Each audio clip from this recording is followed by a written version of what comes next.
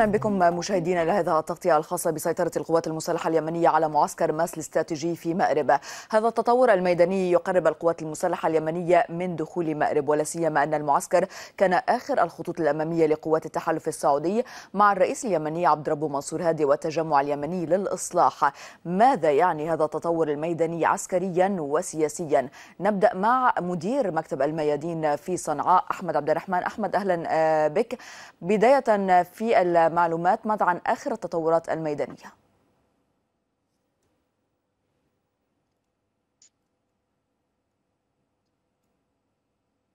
أحمد؟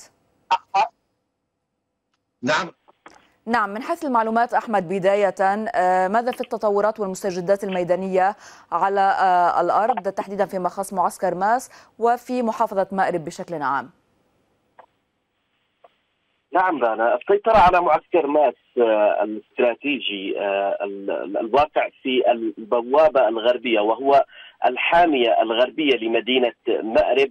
وأيضا آخر الخطوط الدفاعية بالنسبة لقوات هادي والإصلاح والتحالف السعودي في المحور الشمالي الغربي لمدينة مأرب. هذه السيطرة من قبل قوات صنعاء جاءت بعد معارك طاحنة ومعارك غير مسبوقة في هذا المحور استمرت على مدى أشهر لكن أهم المعارك سيضت خلال الأيام والأسابيع الماضية. تمكنت على إثرها قوات صنعاء من الوصول إلى محيط المعسكر وفرض طوق عسكري كامل على المعسكر من جميع الاتجاهات. وبالتالي الوصول إلى المعسكر بالأمس وإسقاطه كليا. ما أدى وما دفع قوات هادي والتحالف السعودي إلى الهروب ومغادره المعسكر إلى صحراء الجدعان. هذا المعسكر رانا يقع في يعني على بعد 25 كيلو متر من مدينة مأرب. وبالسيطرة عليه تكون قوات صنعاء قد تمكنت من كسر أهم خطوط دفاع قوات هادي والتحالف السعودي رغم الغارات الجوية المكثفة بالأمس وخلال الأيام الماضية وصلت إلى مئات الغارات على المعسكر ومحيطه وعلى أيضا قوات صنعاء في جميع النقاط. حاولت هذه الغارات منع تقدم قوات صنعاء لكنها فشلت وفي النهاية تمت السيطرة على هذا المعسكر وجميع النقاط والمناطق وأيضا المرتفعات والتلال والأودية المحيطة به، المعلومات أيضا تتحدث عن سيطرة قوات صنعاء على الخط الإسفلتي الرابط بين صنعاء ومأرب. ما يعني إمكانية التقدم بالنسبة لقوات صنعاء؟ إما عبر يعني الخط الصحراوي في منطقة الجدعان نحو مدينة مأرب وبالتالي تصبح المدينة تحت السيطرة النارية لقوات صنعاء. وإما عبر الخط الإسفلتي الرابط بين صنعاء ومأرب. قوات صنعاء ما زالت تخوض اليوم معارك عنيفة يعني بعد معسكر مأرب في محاولة للتقدم باتجاه منطقة الدشوش المطلة على معسكري صحن الجن وأيضا تداوين وهما آخر معسكرين بالنسبة لمدينة مأرب وبالسيطرة عليهما ناريا تكون قوات صنعاء أيضا قد حققت خرقا نعم. كبيرا في معركة السيطرة على مدينة مأرب الاستراتيجية والمهمة. أحمد لو سمحت ابقى معنا. ينضم إلينا أيضا في هذه التغطية الدكتور محمد عباس الخبير في الشؤون العسكرية والأمنية من جنوب لبنان. أهلا بك سيادة العميد. لهذا المعركة في الواقع أبعاد عدة أبعاد سياسية واقتصادية وأيضا عسكرية. أتوقف معك عند الأبعاد العسكرية. نحن أمام أي مشهد ميداني اليوم بالوصول على مشارف مدينة مأرب؟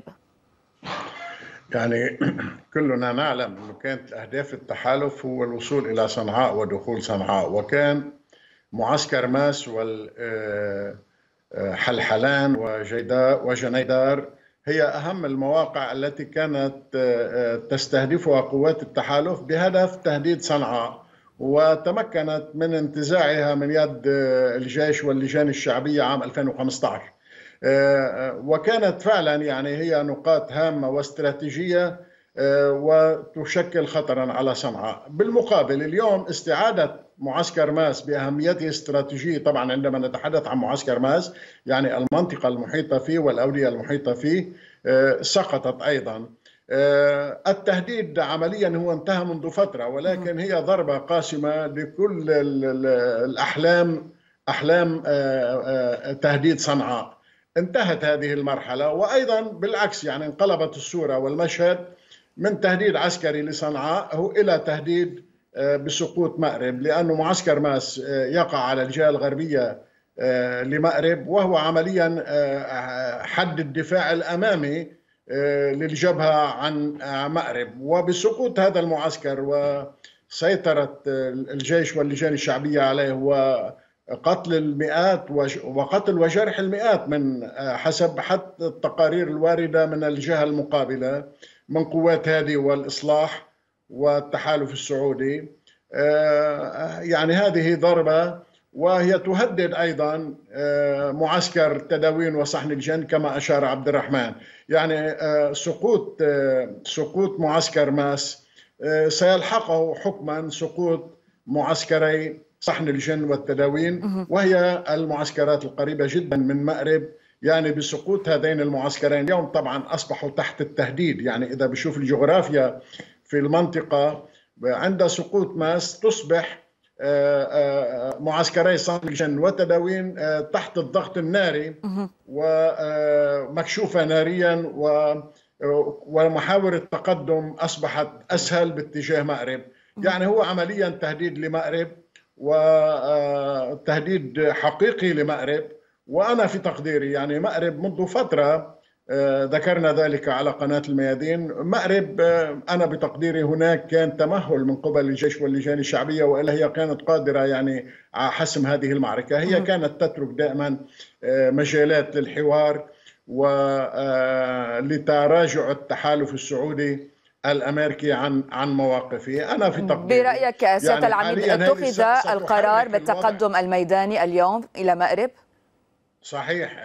هناك يعني ستضغط على مأرب. أنا تقديري ستكون هي محطة فاصلة بالموضوع بموضوع التراجع التحالف الأمريكي السعودي. إذا لم يحصل هذا التراجع على المستوى السياسي وإبداء مرونة في موضوع في موضوع الاستجابة لوقف إطلاق النار تبادل الأسرى فك الحصار عن عن الحديدة وعن وعن كل اليمن نعم. أنا في تقديري ستسقط يعني ستسقط المعسكرات الأخرى قريبا طيب. أنا قلت القرار القرار بإسقاط مأرب موجود ولكن التمهل فيه هو لترك فرصه للمفاوضات السياسية هذا يخدم يخدم موقف الجيش واللجان الشعبية وحكومة صنعاء بموضوع التفاوض مع التحالف السعودي الأمريكي لأنه سقوط مأرب ستعتبر ضربة قاسمة. يعني ساعتها وقتها يعني شو الحديث عن عن عن معركة التحالف لاستعادة الشرعية؟ يعني كل هذه العناوين التي رفعها التحالف الأمريكي السعودي تسقط عمليا. عندما تسقط مأرب يعني هم من البداية طرحوا إسقاط صنعاء خلال أشهر. كانوا يتحدثوا عن اشهر ثم طبعا صمدت صنعاء وصمدت لهذه الحرب الكونية عليها. يعني ما يحصل في اليمن يشبه ما يحصل في سوريا. وصمدت والجيش واللجان الشعبية صمدوا والشعب اليمني صمد. أنا في تقديري هذه العملية ستعتبر ضربة قاسمة لكل الجهود التي لا زالت تراهن داخل السعودية داخل العائلة الحاكمة تراهن على تغيير أو تبدل في الوضع الميداني سأعود إليك سيادة العميد للسؤال عن يعني موقف السعودية وأيضا خطواتها في هذه المعركة. ولكن اسمح لي أن أعود مجددا إلى زميلنا أحمد عبد الرحمن. أحمد عندما نقول يعني القوات المسلحة اليمنية بوجهها هناك قوات التحالف هناك قوات هادي وأيضا هناك يعني حزب الإصلاح. هل هم على يعني قلب رجل واحد هؤلاء بوجه القوات المسلحة اليمنية أم هناك نوع من الاختلافات والخلافات. وهناك أيضا القاعدة وداعش رانا يشاركون أو يشاركان بفاعلية وبشكل واضح في جبهات القتال ضد الجيش واللجان الشعبية في مختلف الجبهات من البيضاء إلى مأرب. وبالأمس كان لافتا تغريدة رئيس مكتب الرئاسة أو مدير مكتب الرئاسة اليمنية في صنعاء أحمد حامد عن الانتصار في معركة الإرهاب وفي خوض الجيش واللجان الشعبية المعركة بشكل واضح وبنية خالصة ضد داعش والقاعدة، هذه كانت إشارة على أن قوات الجيش واللجان الشعبية استطاعت أن تحقق نصرا مهما في المعركة التي تخوضها اليوم وهي معركة مأرب لا شك. بعد ذلك وردت الأنباء ووصلتنا المعلومات عن سيطره قوات صنعاء على هذا المعسكر المهم في المدخل الغربي لمدينة مأرب. طبعا في مأرب ربما نتحدث عن معركة واحدة تجمع قوات هذه وفصائل التحالف السعودي هناك من حزب الإصلاح إلى الفصائل الأخرى، لكن في جبهات القتال الأخرى يختلف الوضع كما هو حاصل في ابين وفي المهرة وفي شبوة وحضرموت وسقطرى، هناك صراع محتدم بين فصائل التحالف السعودي الإماراتي يعني من المجلس الانتقالي الجنوبي إلى قوات الإصلاح إلى الفصائل الأخرى، هناك خلافات عميقة، هناك أيضا صراع نفوذ وسيطرة يظهر في مناطق الثروات في المناطق الحيوية في السواحل وفي الجزر. ويختفي ويتراجع في مناطق أخرى لكنه في لحظة ما سينفجر آه هذا الصراع في وجه التحالف آه السعودي ولكن سؤالي أحمد يعني آه هو نابع من الكلام الذي يتردد عن أن بعض التشكيلات العسكرية كانت تريد التسليم في مأرب ولكن الرياض هددتها تحت ضغط الغارات الجوية ما مدى دقة هذا الكلام؟ لا معلومات دقيقة حول هذا الأمر لكن هناك تواصل هناك اتفاقيات أبرمت بين صنعاء وقبائل مأرب وتحديدا قبائل الجدعان. كان هناك اتفاقيات على تأمين هذه المناطق وعدم اعتراض مرور قوات الجيش واللجان الشعبية من هذه المناطق مقابل عدم يعني التعرض لأبناء وأفراد قبيلة الجدعان. في الذين عادوا أو تركوا المشاركة وانسحبوا من جبهات القتال في من قوات هذه والتحالف السعودي، طبعا قبيلة الجدعان هي من كبرى قبائل مأرب وقدمت يعني مئات الضحايا من أفرادها في مشاركتها مع قوات التحالف السعودي وحزب الإصلاح، لكن في لحظة ما أدركت هذه القبيلة أنها تقاتل يعني من أجل لا شيء من أجل التحالف السعودي فقط ومن أجل السعودية وليس وما من هدف وطني واضح يدفعها إلى الاستمرار في هذا القتال نعم. العبثي. وبالتالي اقتربت من صنعاء وكان هناك وفد كبير من هذه القبيلة وصل إلى صنعاء واتفق مع قيادات الدولة هنا. طبعا قبيلة الجدعان رانا تمتد من شرق محافظة صنعاء من شرق صنعاء. إلى غرب مأرب وأيضا وصولا إلى شرق الجو، معنى هي قبيلة كبيرة لها حدود واسعة وكبيرة وأيضا مساحتها الجغرافية واسعة وكان لها ربما تأثير كبير في مج... في مسار هذا الصراع وهذه المعركة وأيضا في السيطرة على هذا المعسكر الواقع في مناطق تتبع قبيلة الجدعان. وينضم إلينا أيضا أحمد إلى جانب الدكتور محمد عباس العقيد مجيب شمسان الخبير العسكري معنا من صنعاء. أهلا بك سياده سيادة العقيد. يعني هناك من يقول بأن إسقاط معسكر الماس هو توطئة لإسقاط مأرب. هل اتخذ هذا القرار في صنعاء؟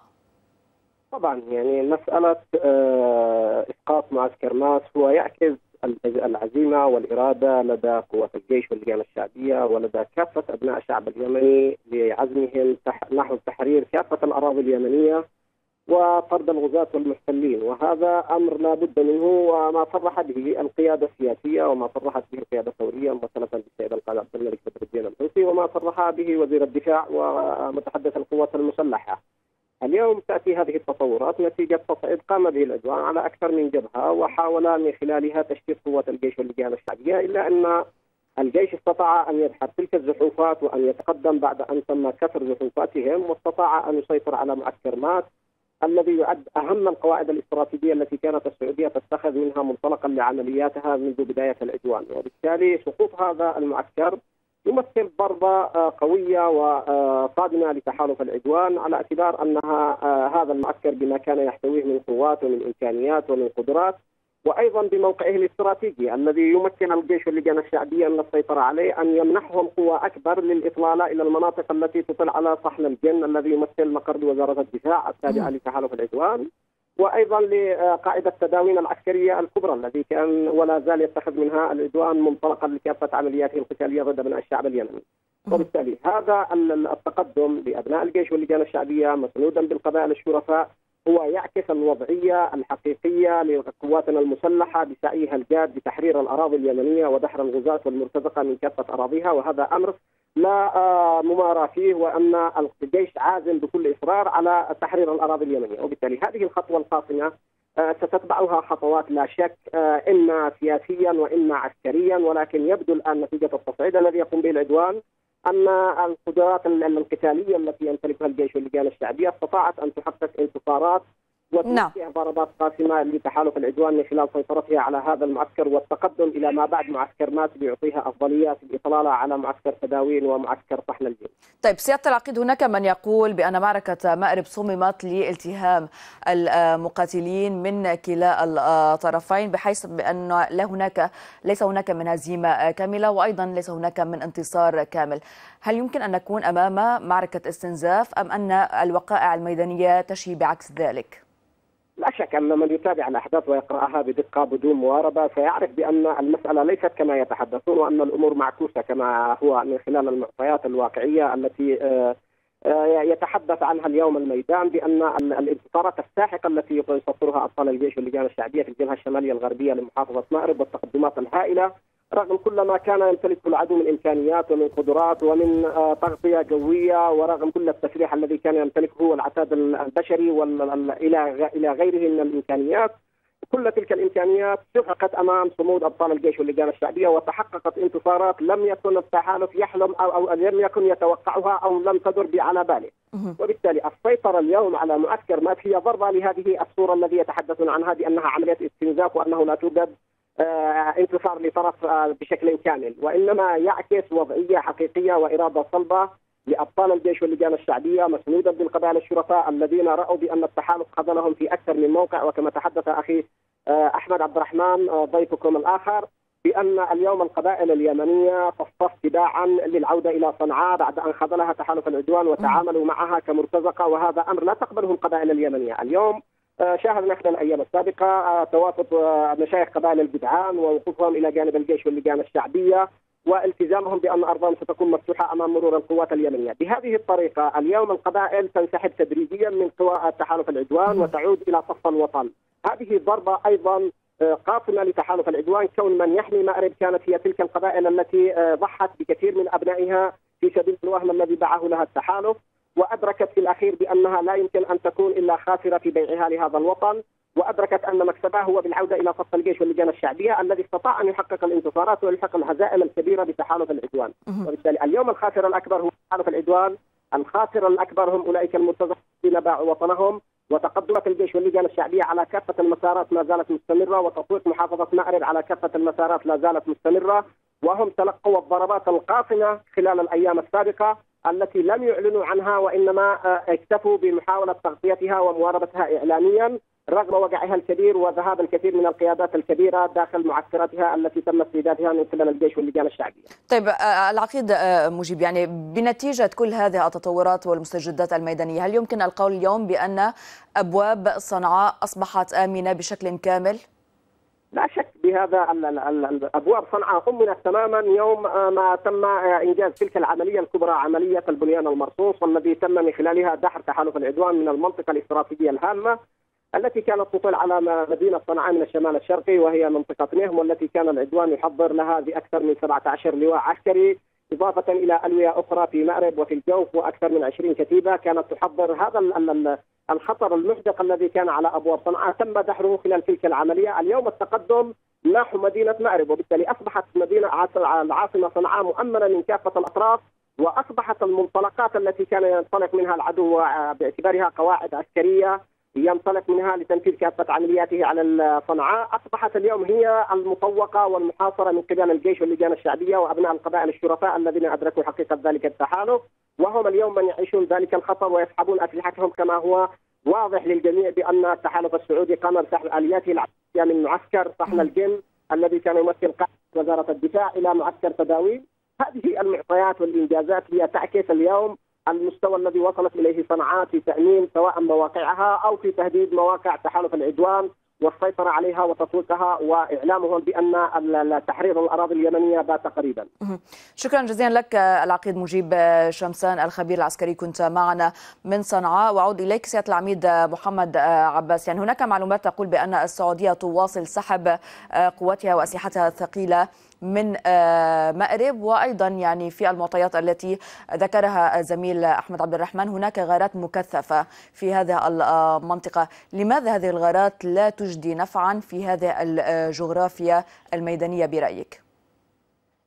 يعني ليس في في اليمن وحدها معروف أنه سلاح الجو لا يحسم معركة لا يحسم معركة هو يلحق خسائر بالطرف الآخر. ولكن الجيش واللجان الشعبية منذ حوالي منذ أن بدأت الحرب العدوانية على اليمن آه، تعاملوا مع سيطرة القوات السعودية السيطرة الجوية على الأجواء في اليمن وتعاملوا آه، مع هذا الأمر كأمر حقيقي وحاصل. لذلك آه، في البداية يعني عمدوا إلى الدفاع السلبي بمعنى الانتشار لأنه لم لم يكن يملكوا أسلحة مواجهة للطائرات آه، طائرات التحالف السعودي.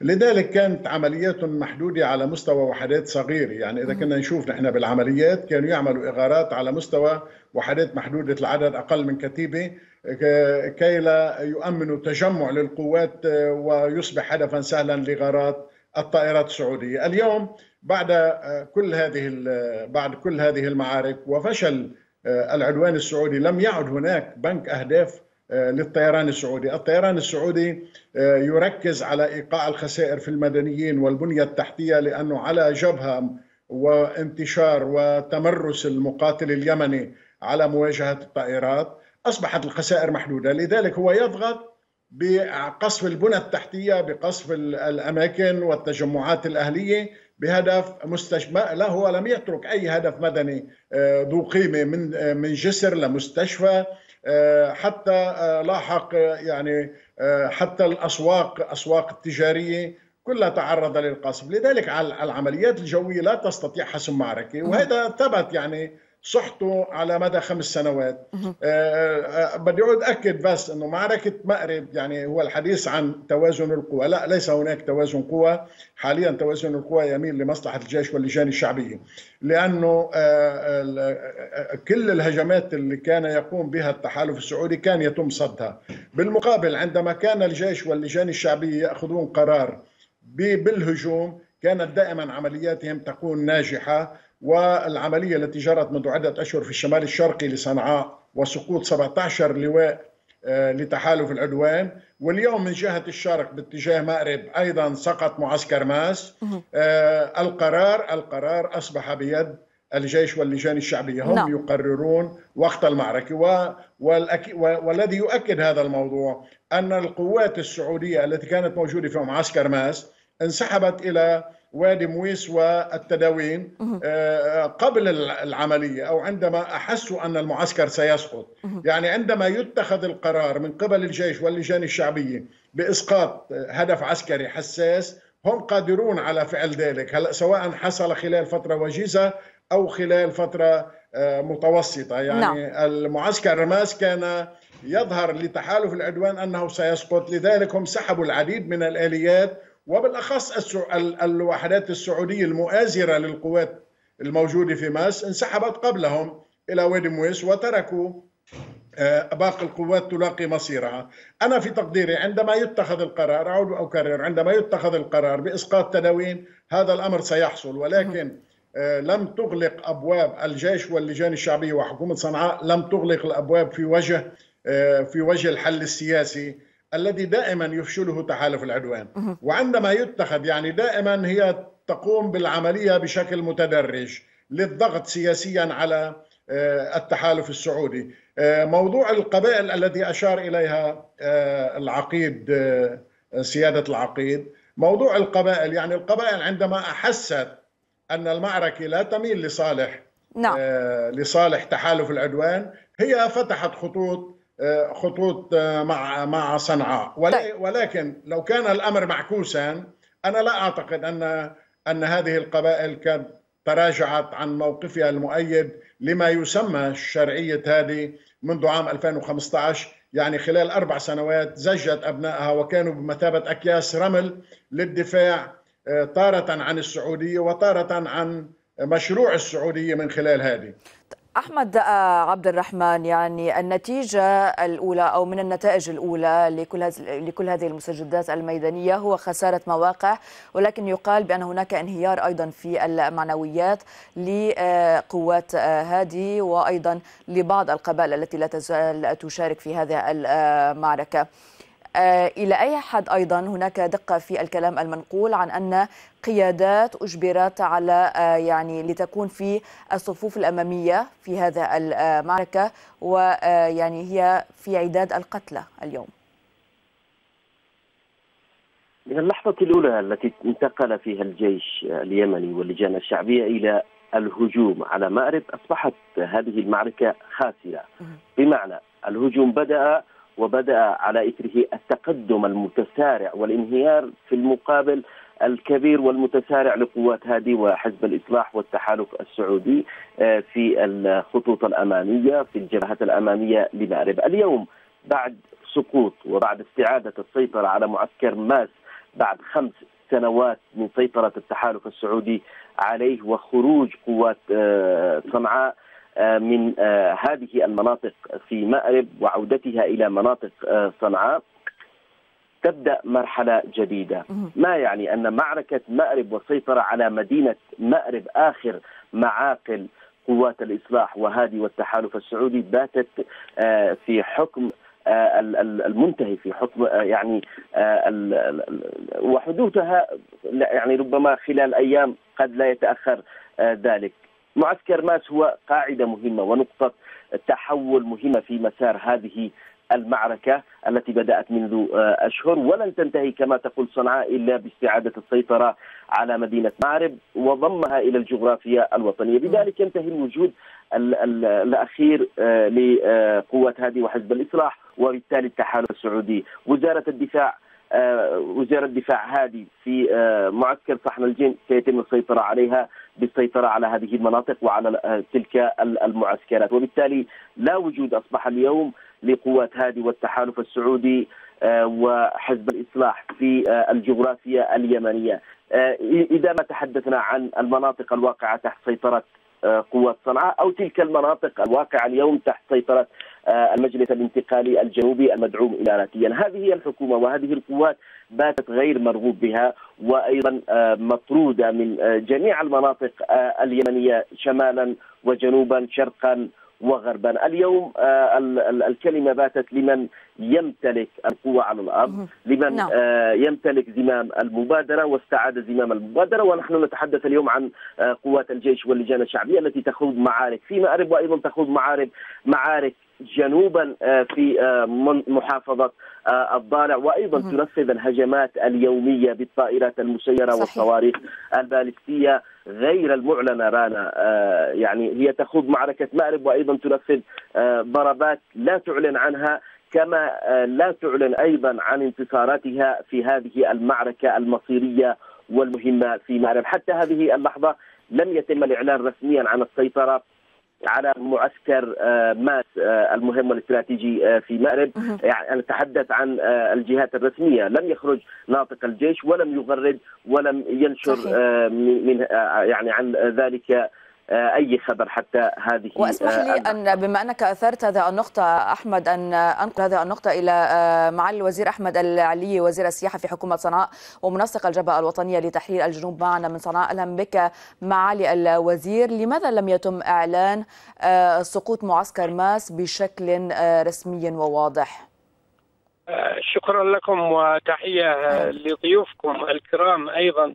في الواقع أنا أمثل وزارة السياحة صحيح. يعنيني جدا الآثار والمواقع السياحية التي هي تتميز مدينة مارب ومحيطها بهذه الآثار ذات التاريخ والحضارة هناك ناطق رسمي لكن على العموم نستطيع التأكيد أن معسكر ماسك سقط فعليا بيد رجال الرجال من الجيش واللجان الشعبية وأن آه وسط مدينة مارب بات آه قريب جدا من فوهات بنادق المجاهدين. هذا هو آه الإنجاز الذي يتحقق يوميا ونراه بأم عيوننا. ولا يمكن آه ينكره أحد. إضافة إلى أن ما يسمى بقوات تحالف العدوان قد بدأت آه انسحابها آه منذ وقت مبكر تقريبا من خلال أسبوع أو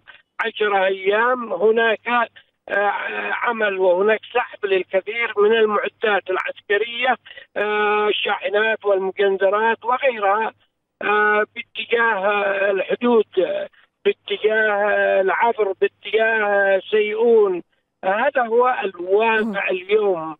بمعنى آخر نستطيع التأكيد أن على حقنا حقنا في استعادة أراضينا من المحتل والغاشم. وأيضا تحريرها من دنة الغزاة والمحتلين وكذلك مرتزقتهم طيب مع الوزير وإن كنت وزير السياحة ولكن السؤال يعني لابد من طرحه هل نحن أمام قرار ميداني حاسم باستعادة مأرب أم أننا أمام ضغط سياسي قابل للتفاوض؟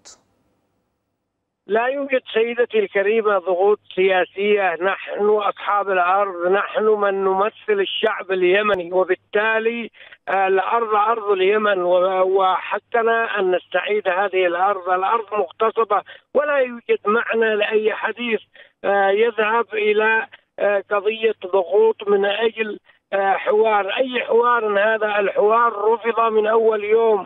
الحوار والتوجه السلمي لقيادة البلد لقيادة الثورة والقيادة السياسية كان هو أهم أهم شعار رفعناه منذ اللحظات الأولى للعدوان. لكن بعد أكثر من ست سنوات بعدها عمليات القتل والإجرام وتدمير الكثير من المنشآت الوطنية والبنى التحتية ما ما ما بقي هو استرداد هذه الأرض بقوة السلاح وأيضا تحريرها حتى أن نصل إلى أبعد نقطة من أرض اليمن وجغرافيه اليمن المعروفة والتي تآكل بعضا منها على مدى السنوات من قبل النظام السعودي. يعني هذا الكلام مفهوم معالي الوزير ولكن أيضا لبعض المحافظات خصوصية لمأرب خصوصية ويقال بأن من يسيطر على مأرب ربما هو سيستلم دفة هذا الحرب ويحدد مسارها.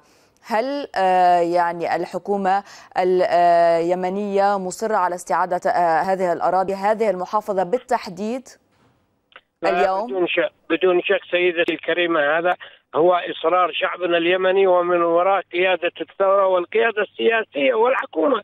أيضا. هذا هو هدف سامي ونبيل لكل أبناء الشعب اليمني. ماذا يجري أولا في هذه المناطق المحتلة؟ يجري تجري عمليات القتل اليومي بحق أبناء شعبنا. لا يمكن أن نصمت على هذه الممارسات الإجرامية سواء كان في مارب أو في عدن أو في تعز أو في غيرها من المناطق. هذه المناطق المحتلة تحولت إلى مناطق تمارس فيها عمليات الإجرام والقتل اليومي. هناك أيضا ضائقة يعيشها أبناء المناطق المحتلة، هناك الأسعار مرتفعة جدا وهناك معاناة حقيقية، لا خدمات لا أمان، وبالتالي أصبح من واجبات آه السلطة في صنعاء من واجبات القيادة من واجبات آه أيضا الجيش واللجان الشعبية تحرير هذه المناطق وإنقاذ أبناء اليمن من هذه التصرفات الرعناء والإجرامية والتي تستهدف تستهدف مقدرات شعبنا. ناهيكم عن نهب الثروة المنظم الذي يجري على قدم وساق الثروة النفطية في مارب والغازية. تنهب منذ وقت مبكر. إذا علينا أن نحرر هذه الأرض وأن نستعيد هذه الثروات لنوزعها توزيع عادل على أبناء شعبنا اليمني. هذا هو هدفنا السامي وهذا هو قرارنا النهائي. لا تراجع اطلاقا عن هذا القرار الذي نعم. يخدم أبناء شعبنا اليمني فقط لذلك قلت بأن لهذه المعركة أبعاد سياسية وعسكرية ولكن أيضا اقتصادية وهي نفطية في المقام الأول. ولكن بما أنك تطرقت معالي الوزير إلى الجانب والعامل الإنساني بالأمس الأمين العام للأمم المتحدة تحدث عن اليمن وقال بأننا ربما أمام يعني أسوأ مجاعة قد يشهدها العالم منذ عقود. في أي إطار تضعون هذا الكلام يعني عن مسؤول أممي صادر عن مسؤول أممي؟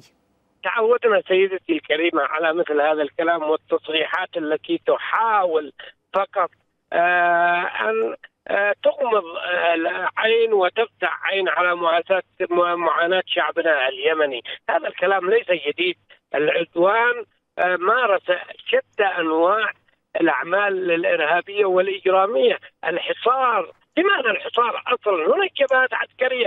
فليأتوا بمقاتلين وقد أتوا بمقاتلين وهذه هي الجبهة الحقيقيه التي يجب أن يجرب الناس فيها نعم. لكن ان أن يلجأ هؤلاء العتاة هؤلاء المغفلين من نظام آل سعود والإمارات إلى عملية حصار خانق على شعبنا اليمني، هذا الحصار أيضا أوجد صلابة وأوجد قوة وبالتالي نعم هناك معاناة حقيقية وهناك حالات فقر تنتشر وهناك يعني مأساة إنسانية ربما الامين العام تحدث عنها من باب يعني الهروب من واقع معين أو للقول ان الامم المتحده لا زالت تعنى بحقوق الانسان في كثير من مناطق العالم لكن امام معاناه شعبنا لم تحرك الامم المتحده ساكن اطلاقا وظلت المعاناه واستمر الحصار ولا نعم. جديد إلى حد الان شكرا جزيلا لك مع الوزير أحمد العلي وزير السياحة في حكومة صنعاء ومنسق الجبهة الوطنية لتحرير الجنوب.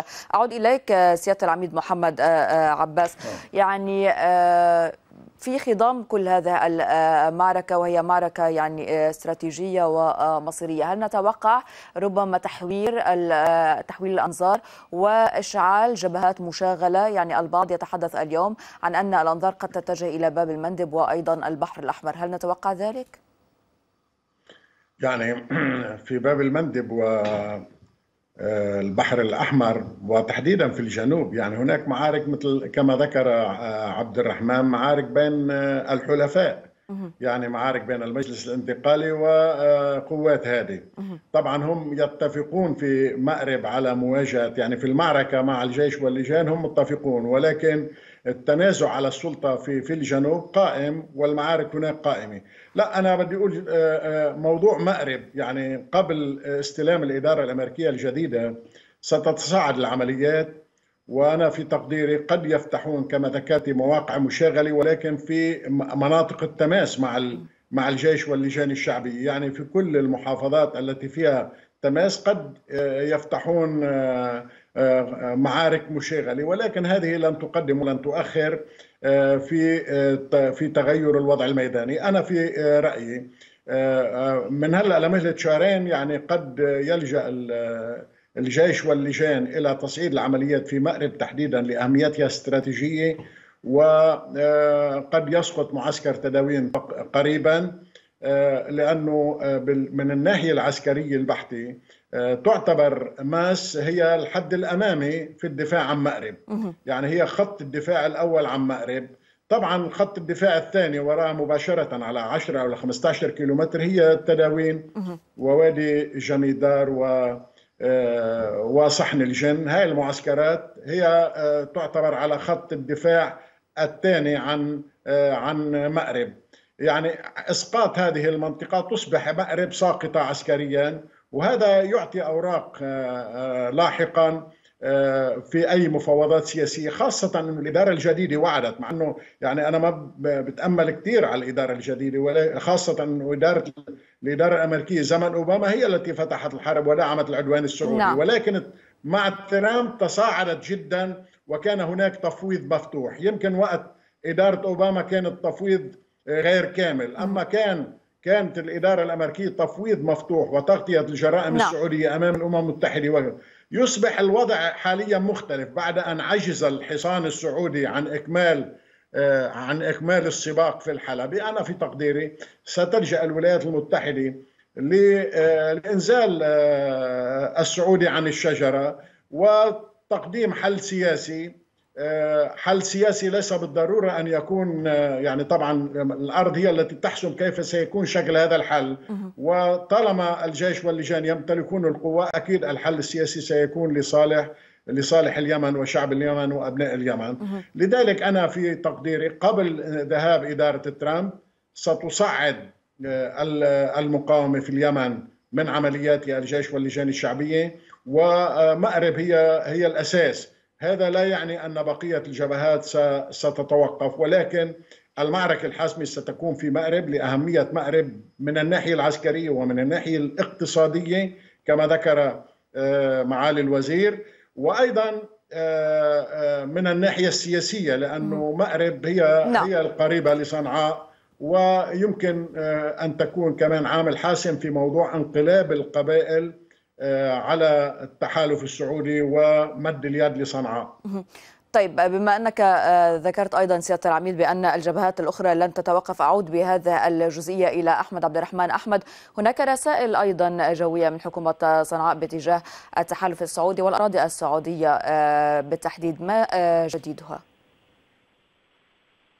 هناك ضربات نعرف عنها من التحالف السعودي الذي يتحدث عن إسقاط واعتراض طائرات مسيرة، بالأمس أعلن عن اعتراض طائرة مسيرة أطلقت من الأراضي اليمنية باتجاه المملكة، لكن في المقابل لم يكن هناك أي إعلان من قبل قوات صنعاء كما هو الحال أو كما جرت العادة بالنسبة لكثير من العمليات التي تعلن عنها السعودية والتحالف السعودي إما بالاعتراض أو إما بالإسقاط.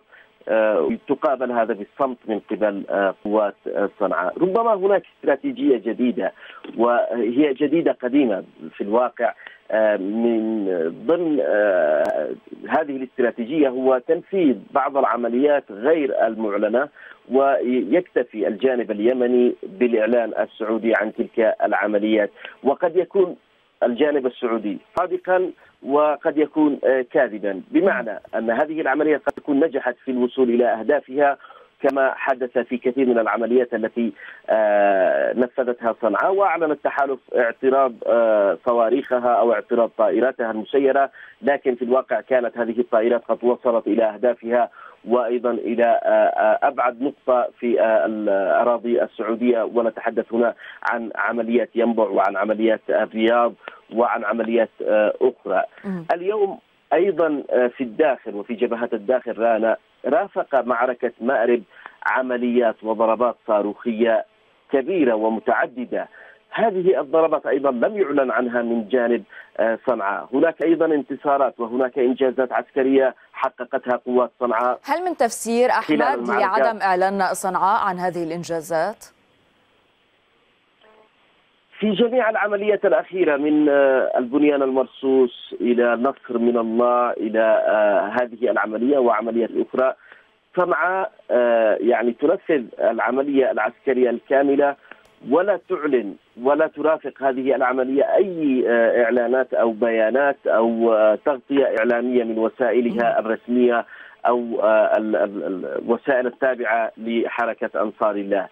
بعد إنجاز هذه المهمة وبعد انتهاء المعركة تعلن عنها كلية وعن الإنجاز العسكري بشكل كابر بمعنى تعلن عن تحقيق نعم. أو تحرير مناطق واسعة كما حدث مع نهم وأيضا كما حدث مع في الجوف وأيضا كما حدث في معركة نصر من الله على الحدود بين صعداء ونجران. طيب أحمد اسمح لي أن أختم معك بالجانب الإنساني. منظمة الهجره الدولية تحدثت عن عمليات نزوح كثيفة من محافظة يعني مأرب. تحدثت عن 150 ألف نازح باتجاه أي مناطق يتم النزوح اليوم. ليس هناك ارقام أو معلومات دقيقة عن آه هذا النزوح وعن حركة هذا النزوح ومسار هذا النزوح، لكن هناك أيضا آه بحسب آه مصادر أهلية نزوح إلى مناطق سيطرة الجيش واللجان الشعبية باعتبارها مناطق آمنة يعني غير معرضة لأي خطر قادم مستقبلا.